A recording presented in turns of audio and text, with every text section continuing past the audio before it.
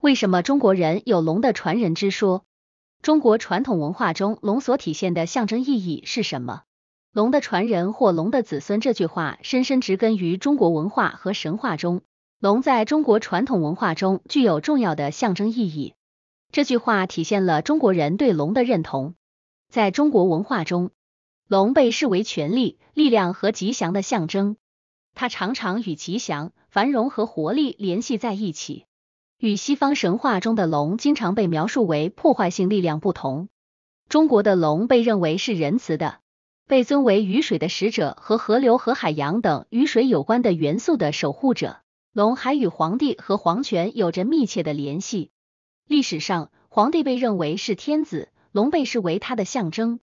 这种联系强化了龙作为权威、合法性和神圣保护象征的意义。此外，龙被认为起源于中国古代的神话，传说可以追溯到数千年前。